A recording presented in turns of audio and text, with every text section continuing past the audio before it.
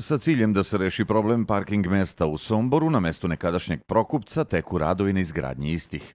Sa tim u vezi, kako bi se uverili da sve teče po planu, radove su obišli gradonačelnik Sombora Antonio Ratković, član Gradskog veća za oblast komunalne delatnosti i investicije Đorđe Zorić, te predstavnici izvođača radova. O tome kako teku radovi, kao i planovima za naredni period, rekao nam je nešto više gradonačelnik. Krenuli su radovi na izgradnji prve faze kojom će biti obuhvaćeno novih 80 parking mesta u gradu Somboru. Biće urađeno kompletno i javna rasveta, zid oko ove parcele i naravno atmosferska kanalizacija u skladu sa potrebama građana. Planu nam je da u narednim godinama radimo dokumentaciju i da podignemo još jedan nivo koji će omogućiti još novih parking mesta za naše sugrađane. Takođe, ovo nisu jedini radovi u gradu, već lokalna samouprava radi i na asfaltiranju neasfaltiranih ulica. U toku su radovi na izgradnji ulice Jovana Dučića, kasnije imamo još četiri ulice u Gornjoj Varuši, Pavlo Vujsića